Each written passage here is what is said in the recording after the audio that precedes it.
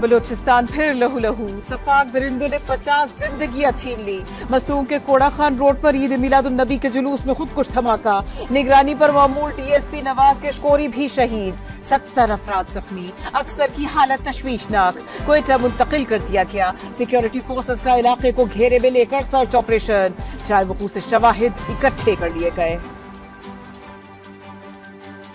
काफ़ी वहाँ डिप्लॉयमेंट मौजूद थी, लेकिन एक सुसाइड बॉम्बर वहाँ पे आए। डीएसपी एक सीनियर अफसर था, जिसने आगे बढ़ के रोकने की कोशिश की। सुसाइड बॉम्बर ने अपने आप को ब्लास्ट किया।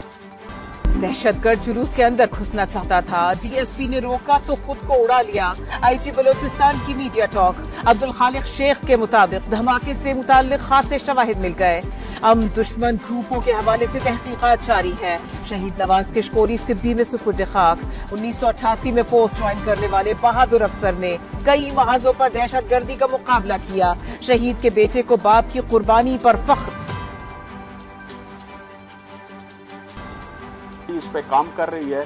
बहुत जल्द हकायक सामने लाए जाएँगे और उनके खिलाफ सख्त कार्रवाई की जाएगी दहशत गर्दों की। मस्तूम में दहशत गर्दी का वाक़ बलोचिस्तान में तीन रोजा सोख का ऐलान। निगरा वज़ीर आला कहते हैं खुद कुछ धमाके की तहकीकात जारी है। हकायक जल्द सामने लाएँगे।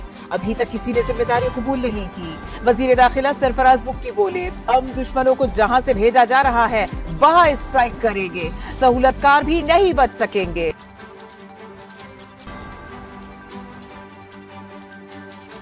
शोब में दहशत गर्दों का हमला, पाक फौज के चार जवान शहीद। वतन के मुहाफिजों की जवाबी कार्रवाई में तीन हमलावर अंजाम को पहुँच गए।